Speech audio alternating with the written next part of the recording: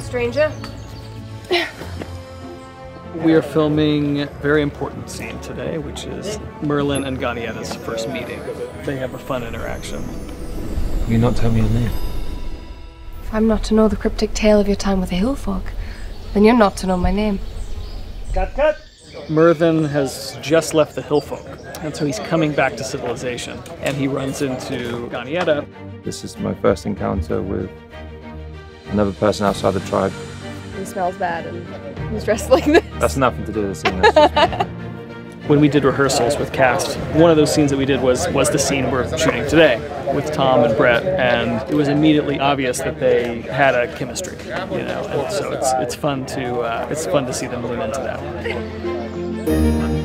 That's the most romantic setting here.